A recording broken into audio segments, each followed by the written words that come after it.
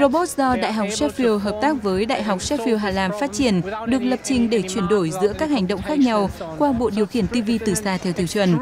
Khi được khởi động từ xa, mỗi robot sẽ trở nên độc lập hoàn toàn về năng lượng sử dụng, khả năng nhận biết môi trường xung quanh cũng như chuyển động của mình nhờ vào chiếc máy vi tính được lắp đặt bên trong cơ thể chúng.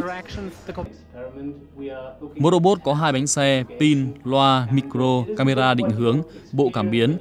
Camera định hướng giúp robot nhìn thấy vật thể ở phía trước, còn bộ cảm biến giúp chúng nhận biết khoảng cách với bức tường hay với bạn đồng hành của mình.